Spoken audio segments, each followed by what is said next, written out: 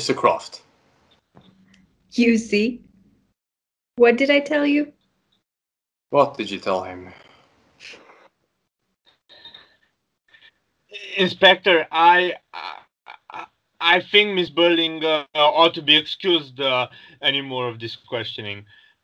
She, she nothing more to tell you. She's, uh, she's had a long and uh, exciting and tiring day. We, we, we were celebrating our engagement, you know, and and now she's uh, she's obviously had about as as much as she can stand. You heard her earlier. He means I am getting hysterical now. And are you, Miss Birling? Probably.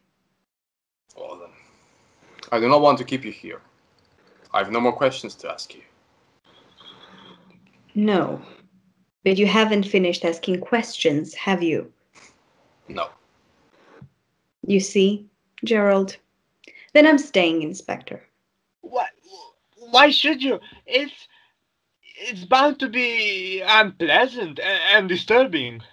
And you think young women ought to be protected against unpleasant and disturbing things? Isn't that so, Mr. Croft?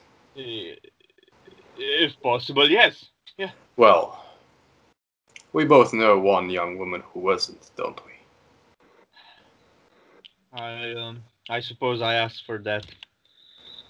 Be careful you don't ask for more, Gerald. I I only meant it to say to you, Sh- Sheila, why why stay when you hate it? Well, it can't be any worse for me. And who knows? It might get better. I see. What do you see? You've been through it. And now you want to see somebody else put through it. So that's what you think of me. Well, I'm glad I realized that in time, Gerald. No, no, I, Sh- Sheila, I, I, I didn't mean it like. Did no, you? no. Yes, you did. And if you'd really loved me, you couldn't have said that. You listen to that nice story about me. I had that girl sacked from Milwards, and now you've made up your mind that I must obviously be a selfish, vindictive creature. No, I, I, I, I neither said that nor even suggested it. Then why say I want to see somebody else put through it? That's not what I mean at all. All right, all right then. I'm, I'm sorry. I really am, Sheila. Yes, but you don't believe me. And that's just the wrong time not to believe me. Allow me, Miss Birling. Mr. Croft, I can tell you why Miss Birling wants to stay on and why she says it might be better for her if she did. A girl died tonight. A pretty, lively sort of girl who never did anybody any harm, but she died in a misery and agony, hating her Oh, life. don't. Please, Inspector, please, I can't stop thinking about it already as it is. Now, Miss Birling here has just been made to understand what she did to this girl. She feels responsible. And if she leaves us now and doesn't hear any more, then she'll feel that she's entirely to blame. She'll feel alone with her responsibility for the rest of tonight, or tomorrow, or the next day. Yes, yes, that's it. And and I know I am to blame and, and I'm desperately sorry, but I can't believe, I mean I, I won't believe it's simply my fault that in the end she she committed suicide. That would be too horrible. You see, Miss Birling and Mr. Croft, we have to share something. And if there is nothing else to share, then we shall share our guilt. Yes. That's true. But you know, there's something I don't understand about you, Inspector. There is nothing to understand, and if, if there were, there would be no reason why you should. Good evening, Inspector. Good evening, madam. I'm Mrs. Birling. You know.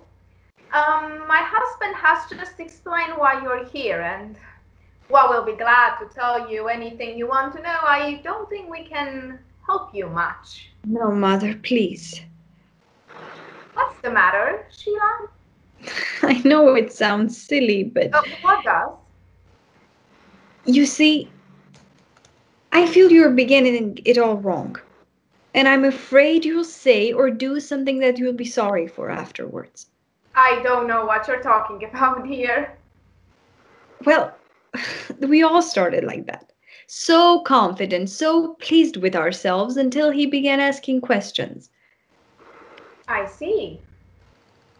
You seem to have made a great impression on my child, Inspector. We often do on the young ones. Hmm. They're more um, impressionable. Sheila, you're looking tired, dear. I think you ought to go to bed and forget about this absurd business. Oh, you'll feel better in the morning. Father, I couldn't possibly go. Trust me, ni- nothing would be worse for me now.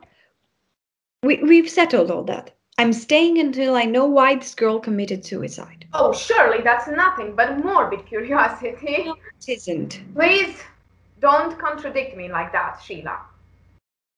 And in any case, I don't suppose for a moment that any of us can understand why the girl committed suicide. I mean, girls of that class. Mother, mother, don't, please. For your own sake as well as ours. You mustn't try to. Mustn't what? Really, Sheila? You mustn't try to build a kind of wall between us and the inspector. And this girl, actually. Because if we do, then the inspector will just break it down. And it will be all the worse when he does. I don't understand you, Sheila. Do you, Inspector? Yes, I do. I But beg your is right. pardon. I said yes, I do understand her. And I also said that she is right. Well, that I consider is a trifle impertinent, Inspector. Really? Now, what is it, child?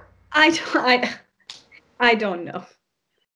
Perhaps it's because trifle is such a I don't know. It's it's such an Oh, it's In not any case,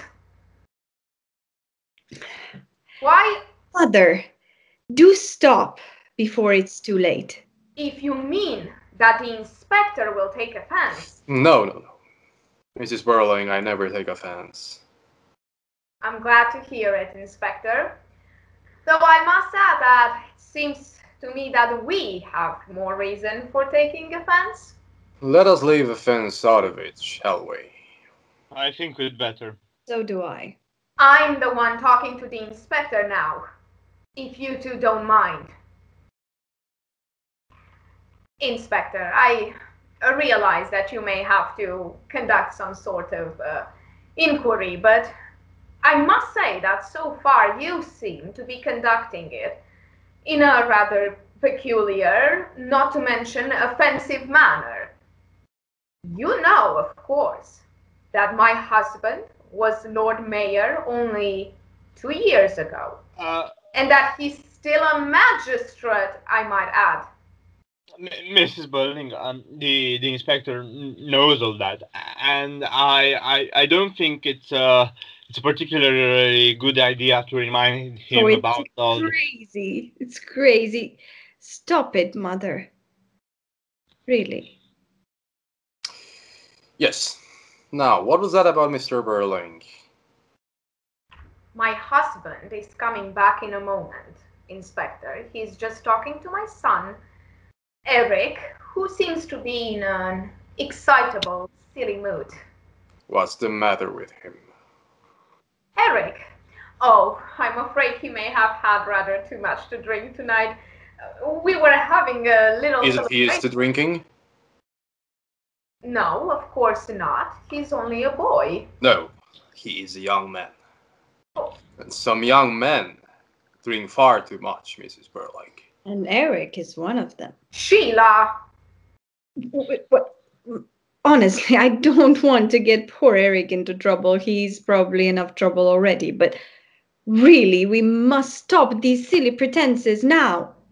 This isn't the time to pretend that Eric isn't used to drink. He's been steadily drinking for the last two years. This isn't true. Gerald, you know him. And you're a man, you must know it isn't true. Gerald, Mr. Croft, Uh, is it true? Um, I'm afraid it is. You know, I, actually, I've um, I've never seen much of him outside the house. Uh, but well, I um, I have gathered uh, the idea that um, he does drink pretty hard. and this is the time you choose to tell me. Yes. Yes, of course it is. And that's what I mean when I when I talked about building up a wall that's sure to be knocked flat. It makes it all harder to bear. But it's you.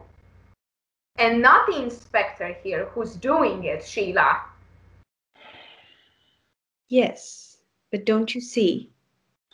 He hasn't started on you yet. Oh. Inspector, if necessary, I shall be glad to answer any questions you wish to ask me. Though naturally, I don't know anything about this girl. We shall see, Mrs. Birling. Indeed.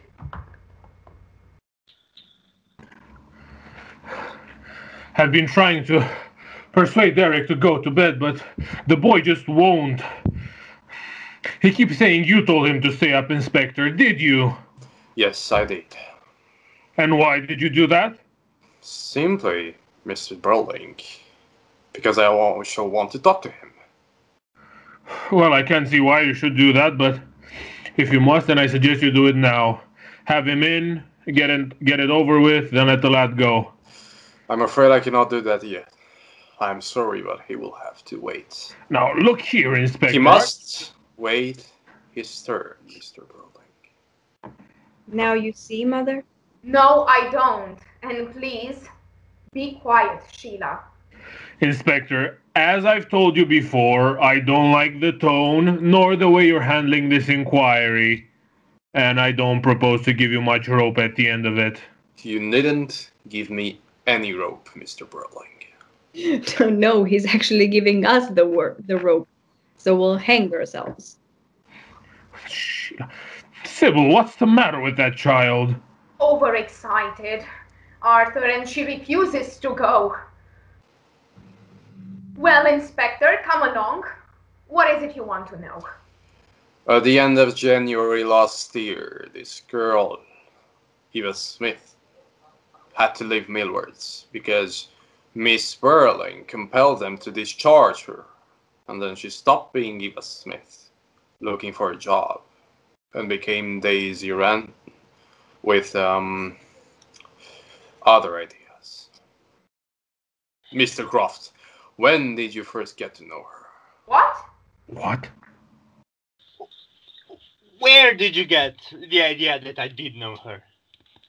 Oh, it's no use, Gerald. You're wasting your time. As soon as I mentioned the name Daisy Renton, it was well obvious you'd known her. You'd given yourself away at once. Of course he did. And anyhow, I had already known. When, uh, when and where did you first meet her? All right, all right. If you must have it, I, I, uh, I met her first uh, sometime in March last year, uh, in uh, in uh, in the Stalls Bar at uh, at the Palace. Uh, you know, uh, I mean the the Palace Music Bar, uh, the uh, the Palace Music Hall uh, here in uh, in Brumley. Well, we didn't think you meant Buckingham Palace, obviously. Thanks, Sheila. You're going to be a great help. I can see. You've said your part, and you're obviously going to hate this. So, so why on earth don't you leave us to it? Nothing would induce me.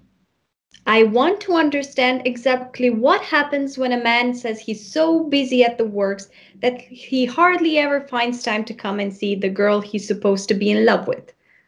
You know, I wouldn't miss it for the world. Yes, Mr. Croft. Um, go on, please. In the stalls bar, the Palace Variety Theatre here in Brumley. I um. Well, I happened to look in one night. Uh, after after a long dull day, and uh, and uh, as the show uh, wasn't very bright, I uh, well I went down into the bar for uh, for a drink.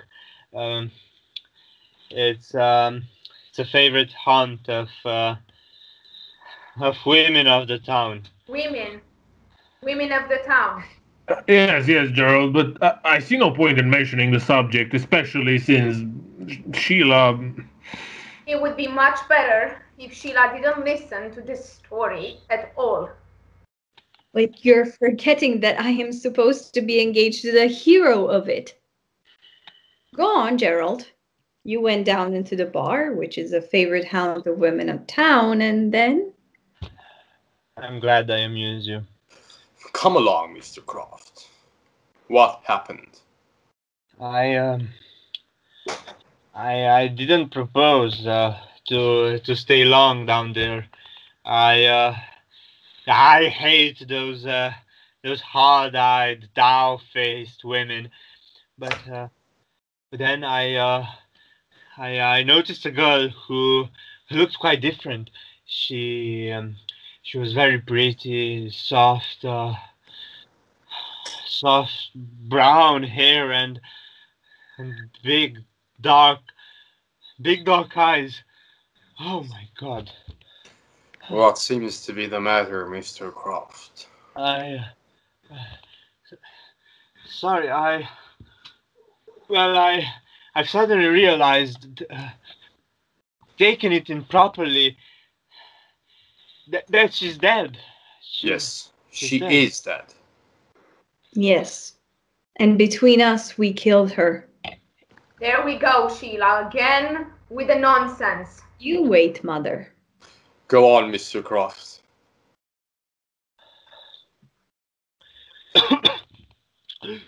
she she looked young and uh, and fresh and, and and charming and altogether out of place down there um, and and obviously she wasn't enjoying herself uh, old uh, old Joe Meggarty half drunk and, and goggle-eyed had wedged her into into a corner and uh, with that obscene uh, fat carcass of his. There's no need to be disgusting, Gerald, please. And surely you don't mean Alderman Meggarty. No, of course I do, Mrs. Birling. Uh, he's well, he's a notorious womanizer, as as well as being as well as being one of the worst uh, sots and rocks here in Brumley. Quite right, Miss. Well, really? Alderman Meggarty? I must say, we are learning something tonight. Of course we are. But Everybody knows about this horrible Meggarty. A girl I know had to, well, had to see him at the town hall one afternoon, and she only escaped with a torn blouse. Sheila! Mr. Croft, please go on. The the girl saw me, um, looking at her, and uh, and then gave me a glance uh, that was that was nothing less, nothing more than uh, a cry for help, really. Uh, so uh, so I went across and uh, and told Joe Meggarty some nonsense. Uh, that, that that the manager at the the hotel had a message uh, for him or, or or something like that. You know got him out of the way. And then and, and then i told the girl that um, that if she she didn't want uh, if she didn't want any more of that sort of thing uh, she she'd better let me take her out of there she, And where did you go? once. Where did you go, Mr. Croft? Uh, we well we we went along to the county hotel, which uh, which which I knew would be would be quiet at um, at that time of of uh, the night, um, uh, and and there we we had a drink uh, War two and we talked. Did she drink much at the time? No, no, she uh, she only had a, a port uh, and a lemonade, or you know some such concoction. Uh, well, all she wanted was was to talk, uh, a little friendliness, uh, and uh, and I gathered that uh, that Joe Meggarty's advances had uh, had left her quite quite shaken, uh, as well they might. She tell you anything about herself? Yes, y- yes. She, uh, I, uh, um, I asked her questions about herself. Uh, she told me her name was Daisy Renton, that uh, that she'd lost both of her parents, and that she came uh, originally from from somewhere outside Brumley. Yes.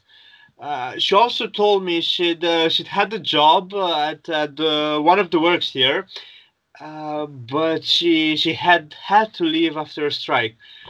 Uh, she she said something about the shop too, yeah. But but wouldn't say which it was, and and, and she was deliberately vague about what happened. I, I I couldn't get any exact details from her about herself. But, just because she she felt I was interested and and I'm friendly, but uh, but uh, at the same at the same time she wanted to be Daisy Renton, and and and not Eva Smith. Uh, yeah, in fact, I heard that name for the first time tonight. Um, uh, what she did let slip, though, obviously she didn't want, she didn't mean to, uh, was was that she was desperately hard up, and at the moment uh, she was actually hungry. I uh, so, so I I made the people at uh, at the hotel uh, find some food for her. And then, Mr. Croft, you decided to um, keep her as your mistress. What do you mean, a mistress? Of course, Mother. It was obvious from the start. Go on, Gerald. Don't mind Mother. I um, I discovered not not that night, but uh, two nights later, when uh, when we met again. This time, uh, not accidentally, of course. That uh, that in fact she hadn't a penny, and and was going to be turned out of of uh, the miserable back room she had. So uh, it uh, it happened that a friend of mine, uh, Charlie Brunswick, had had gone to Canada for for six months, and had had let me have the key of um, of a nice little set of rooms he he had in Morgan Terrace. He uh, had, asked me, uh, to keep an eye on them and uh, and use them if I uh, if I wanted to.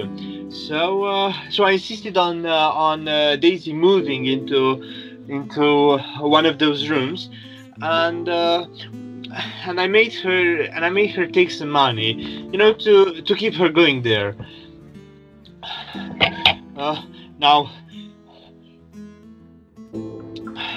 Inspector, I want you to understand that that I didn't install her there so that I could make love to her. I made her go to Morgan Terrace because because I was sorry for her, and, and I didn't like the idea of her going back to the palace bar. I didn't ask for anything in return. I see, Mr. Croft. But why are you saying that to him? You ought to be saying that to me. I suppose I ought really. I I I'm sorry, Sheila. Somehow I No, somehow I he- know. Somehow he makes you. But, Mr. Croft, she became your mistress nonetheless. Yes. I uh I suppose it was inevitable. She she was young and and pretty and, and warm hearted and in, intensely grateful. I became at once the most important person in her life. You understand that, sir? Yes. She was a woman. She was lonely. She got attached to you. So it happened. Were you in love with her, Mr. Croft? Just what I was going to ask. I really must protest such a question, is she Inspector. really protesting, Mr. Birling? It was you who turned the girl out in the first place. Well, I I only did what any employer might have done, and, and I still don't see why my daughter, a, a young unmarried girl, is being dragged into Your daughter, Mr. Birling, is not living on the moon. She's here in Brumley as well. Yes, and it was I who turned the girl out of her job at Milward's. And I am supposed to be engaged to Gerald. And I'm not a child, don't forget. I've a right to know. So, Gerald, were you in love with her? Uh, yeah. It's hard to say. I, I I I didn't feel about her as she felt about me. Of course not. You were the wonderful fairy prince. You must have adored it, Gerald. All right, all right. I I did for a time. Nearly, nearly any man would have done so. You know what? That's probably about the best thing you've said tonight. At least it's honest. Did you um Did you go and see her every night? No, no. I I I wasn't telling you a complete lie when uh, when I said that I'd been very busy at the works all that time. We we were very busy. But, but yeah, I of course I did get to see a good deal of her. I don't think we want any further details of this I- disgusting affair. Gerald, I I do. And anyhow, we haven't had any details yet. And you're not going to have any. And Mrs. Birling, you know, it it wasn't disgusting. it's disgusting to me, Gerald. Yes, but after all, you didn't come into this, did you, Mother? Inspector, is is there is there anything else you want you want to know that you ought to know? Yes, Mr. Croft. When did this um, affair end? I uh, I can tell you exactly.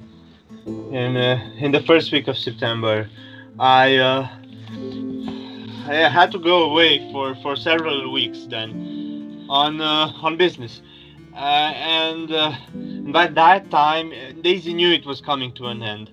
So uh, so I broke it off definitely. be, before I went. How did she take it? Better, better than I hoped. Better than I hoped. Yeah, I. Uh, she she was uh, she was very gallant uh, about it. That was nice for you. No, it wasn't. She she told me she'd been uh, she'd been happier than ever than she'd ever been before. But that she knew she couldn't last. Uh, it was couldn't last. Hadn't expected it to last. She didn't blame me at all. I wish to God she had now. Perhaps I'd feel better about it. And I assume that she had to move out of those rooms. Yes, we we'd agreed about that. She'd she saved a little money on what I'd allowed her during the summer.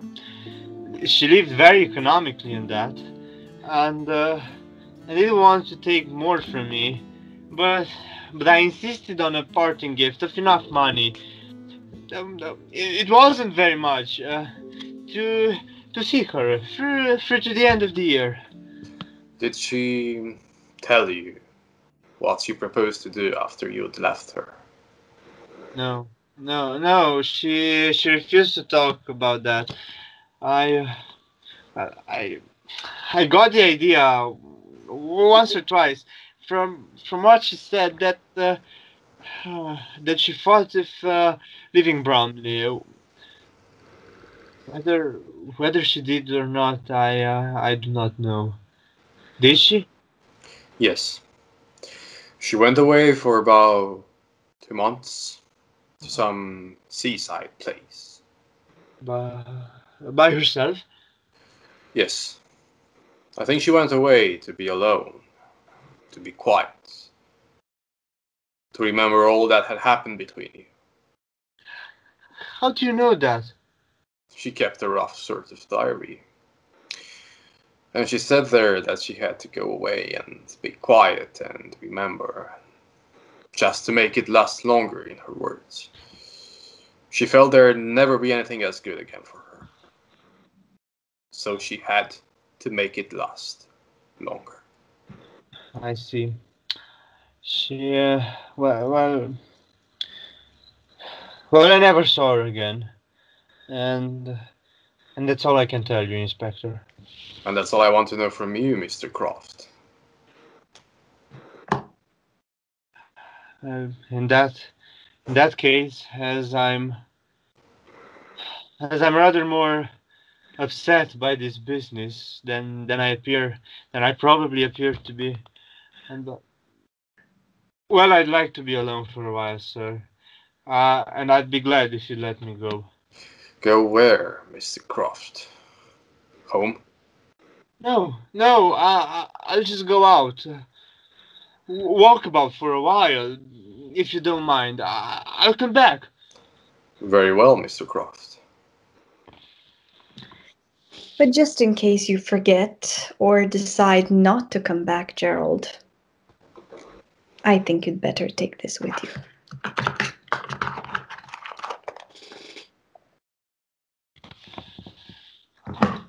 Let's see.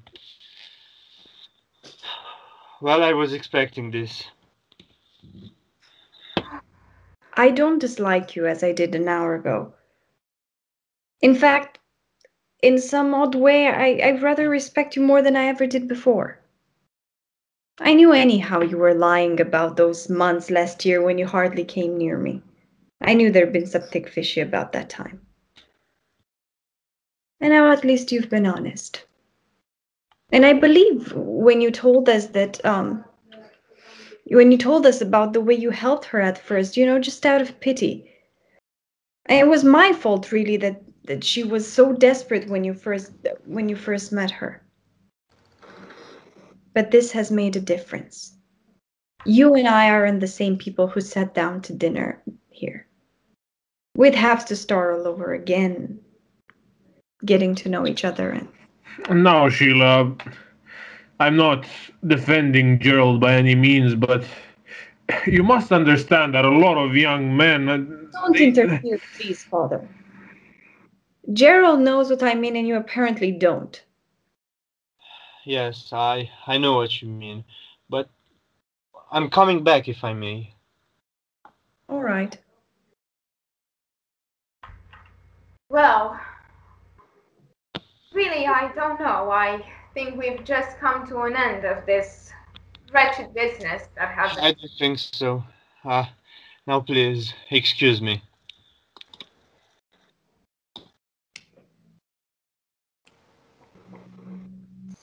You know, Inspector, you never showed him that photograph of her. No, it was not necessary. And I deemed it better not to. You have a photograph of this girl. Yes, I do. And I think you'd better look at it, Mrs. Birling. I don't see any particular reason why I should be looking at the photograph. Probably there isn't, but you'd better take a look at it. Very well.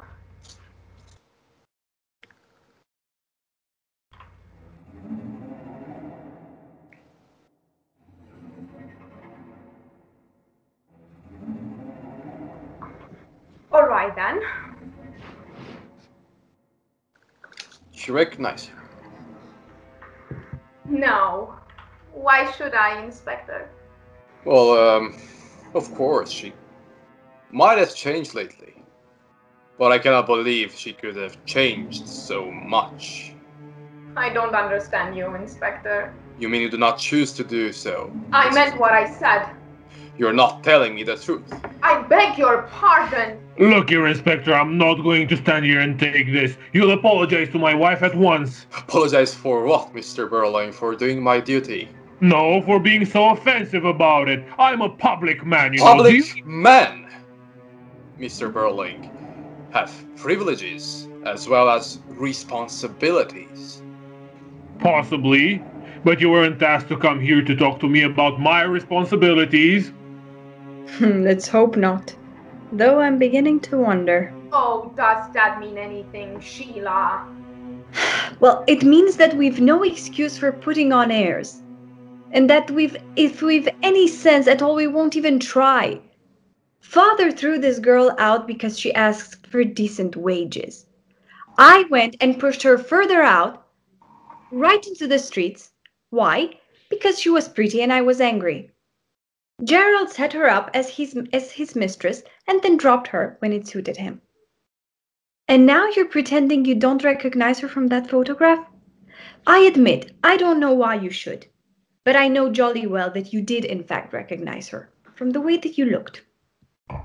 And. And if you're not telling the truth, then why should the inspector apologize? And can't you see, both of you, you're making it worse?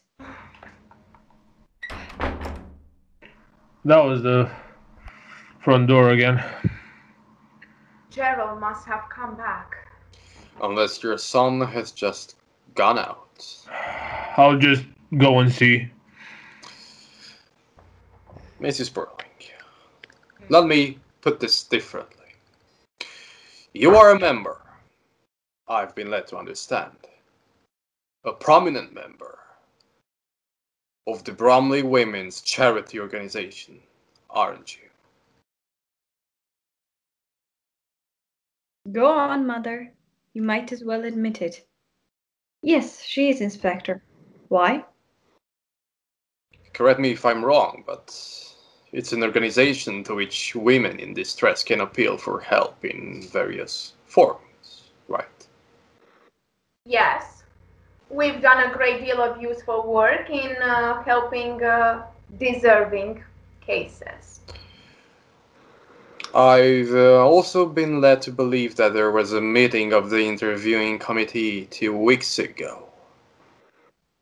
Yes, I dare say there was. You know very well there was, Mrs. Birling. You were in the chair. And if I was in the chair, Inspector, what business is it of yours? It seems that I have to tell you, in plain words, That must have been Eric we just heard at the door. Have you been up to his room, Arthur? Yes, and I, I called out on both landings. It, it must have been him going out. Silly boy. Where can he have gone to? I can't possibly imagine, but but he was in one of his excitable, queer moods again, and even though we don't need him here, how, c- how Oh, can he... but we do need him here, Mr. Birling, and if he's not back soon, I shall have to go and find him. Well, Inspector, he's probably just gone out to cool off. He'll be back soon. I surely hope so. And why should you hope so? I'll explain why when you've answered my questions, Mrs. Birling. Oh, Is there any reason whatsoever why my wife should answer questions from you, Inspector? Yes, and a very good reason for that matter. You will remember that Mr. Croft told us, and quite truthfully, I believe, that he hadn't spoken to or seen Eva Smith since last September. But Mrs. Birling spoke to and saw her only two weeks ago. Mother! Sybil, is this true? yes, quite true. And she appealed to your organization for help, didn't she? Yes, she did. But not as Eva Smith. No, nor as Daisy Renton. As what, then? First, she called herself Mrs. Birling. What? Mrs. Birling? Yes. I think it was simply a piece of gross impertinence, uh, quite deliberate. And naturally, that was one of the things that prejudiced me against her case, obviously. And I should think so, Sybil. Damned impudence. Hmm. So you do admit to being prejudiced against her case? Absolutely. Mother! She's died a horrible death. Don't forget that. I'm very sorry, but I think she had only herself to blame. Was it to your influence as the most prominent member of the committee that help was refused to the girl? Possibly. Was it or was it not your influence? Yes, it was, Inspector. I didn't like her manner. She impertinently made use of our name, though she pretended afterwards it just happened to be the first she thought of. She had to admit after I began questioning her that she had no claim to the name, that she wasn't married, and that the story she told at first about uh, a husband who deserted her was quite false. It didn't take me long to get the truth, or, or some of the truth, out of her. Why did she want help? You know very well why she wanted help, Inspector.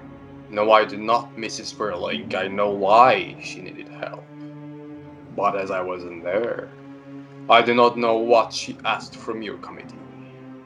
And I don't think we need to discuss it. You have no hope whatsoever of not discussing it, Mrs. Birling. If you think you can bring any pressure to bear upon me, Inspector, you're quite mistaken. Unlike the other three, I did nothing I'm ashamed of or that won't bear investigation. The girl asked for assistance. We were asked to look carefully into the claims made upon us. I wasn't satisfied with hers. She seemed to me simply not a good case. And so I used my influence to have it refused. And in spite of what's happened to the girl since, I consider I did my duty. So if I prefer not to discuss it any further, you have no power to make me change my mind. Yes, I have all the power I need to do. No, you haven't. Simply because I've done nothing wrong and you know it, Inspector. You did something terribly wrong, and you know it, and you're going to spend the rest of your life regretting it. I wish you'd been with me tonight in the infirmary. You would have seen Oh no, please, Inspector, I don't you understand? I've imagined that already. Fine then. Then the next time you imagine it, just remember that this girl was going to have a child. No. Oh, Christ. Horrible. How could she have killed herself with a child? Because she had been turned out and turned down too many times. This was the end. Mother, you must have known. Of course she knew.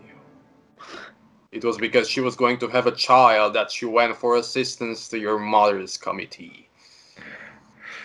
Look, Inspector, this this isn't Gerald Croft. No, no, Mr. Birling. Nothing to do with him. Thank goodness. So I don't know why I should care now. Mrs. Birling, you've nothing further to tell me. I'll tell you what I told her, Inspector. Go and look for the father of the child.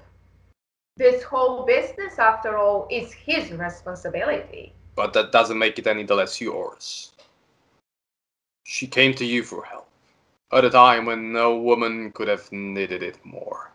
And you not only refused it yourself, but saw to it that the others refused it as well. She was there alone, friendless, almost penniless, desperate. She needed not only money, but advice, sympathy, friendliness. You've had children. You must have known what she was feeling, and you slammed the door in her face. Mother, I think it was cruel and vile what you did. I I must say, Sybil, that when this comes out at the inquest, it it's not going to do us much good. I mean, if the press catches oh, wind of this, stop it's it, both of you. And please remember, before you start accusing me of anything again, that it wasn't I who had her turned out of her employment, Arthur. Which probably began it all. Inspector, in the circumstances, I think I was more than justified. The girl had begun by telling us a pack of lies. Afterwards, when I got at the truth, I discovered that she knew who the father was. She was quite certain about that, in fact, and so I told her it was her business to make him responsible if he refused to marry her. And in my opinion, he ought to be compelled to. Then he must at least support her. And what did she reply to that? Oh, a lot of silly nonsense. What was it? Whatever it was, I know it made me finally lose all patience with her. She was giving herself ridiculous airs. She was claiming elaborate fine feelings and scruples that were simply absurd in a girl in her position. Her position now, Mrs. Birling, is that she lies with a burnt out inside on a slab. No, no, Inspector. Do There's not no. stammer and yammer at me again, Mr. Birling. I am beginning to lose all my patience with you. Mrs. Birling, what did she say? She said that the father was only a youngster, silly and wild and drinking too much. There couldn't be any question of marrying him. It would be wrong for them both. He had given her money, but she didn't want to take any more money from him. And why didn't she want to take any more money from him? All a lot of nonsense again, and I didn't believe a word of it. You seem to misunderstand me. Mrs. Birling, I am not asking you if you believed it. I want to know what she said. Why didn't she want to take any more money from this boy? Oh, she had some fancy reason, all right, as if a girl of that sort would ever refuse money, please. I warn you, Miss. I, I warn you, Mrs. Birling. You're making it far worse for yourself. What reason did she give for not taking any more money? Her story was that he'd said something one night when he was drunk that gave her the idea that it wasn't his money. And where had he gotten this money from then? He'd stolen it. So let me get this straight. She'd come to you for assistance because she didn't want to take stolen money. That's the story she finally told after I'd refused to believe her original one. That she was a married woman who'd been deserted by her husband. I didn't see any reason to believe that one story should be any truer than the other one. Therefore, Inspector, you're quite wrong to suppose I shall regret what I did. But if her story were true, if this boy had been giving her stolen money, then she came to you for help because she wanted to keep this youngster out of any more trouble. Isn't that so? Possibly, but it sounded ridiculous to me. So I was perfectly justified in advising my committee not to allow her claim for assistance. It seems to me that you do not feel remorse even now when you know what happened to the girl. I'm sorry, and I do have remorse because she should have come to such a horrible end. But I accept no blame for it. Not at all. Who is to blame then? First, the girl herself. For letting father and me have her chucked out of her jobs. Secondly, I blame the young man who was the father of the child she was going to have. If, as she said, he didn't belong to her class and was some drunken young idler, then that's all the more reason why he shouldn't escape. He should be made an example of. After all, if the girl's death is due to anybody, then it's due to him. And if the Mhm. story be true, that he was stealing money. There's no point in even assuming that this But suppose we do. then he'd be entirely responsible. Because the girl wouldn't have come to us, she wouldn't have been refused assistance if it hadn't been for him, and so, So, he's the chief culprit. Anyhow, certainly. And he ought to be dealt with very severely, as I'm Right. not. Mother, stop. Stop. Be quiet, Sheila. No, but don't you see? You're behaving like a hysterical child tonight. And if you take some steps, Inspector, to find this young man and then make sure that he's compelled to confess in public his responsibility, instead of staying here asking quite unnecessary questions, then you really would be doing your duty. don't you worry, Mrs. Birling. I shall do my duty. I'm glad to hear it then. Make an example of the young man, right? Mhm. Public confession of responsibility and all that sort. Certainly. And I consider it your duty. And now, no doubt, Inspector, you'd like to say goodnight. Not yet. I'm waiting Waiting for what? to do my duty. Now, Mother. Do you see? Oh. But surely. I mean, it. It's ridiculous to even. I mean. look, look, Inspector. You're you're not trying to tell us that that that, that my boy is, is is somehow mixed up in this. If he is Mr. Birling, then we know what to do, don't we? Your wife has just told us. My God, but look here, Inspector. I don't believe it. I. I won't. I won't believe this. I begged you and begged you to stop.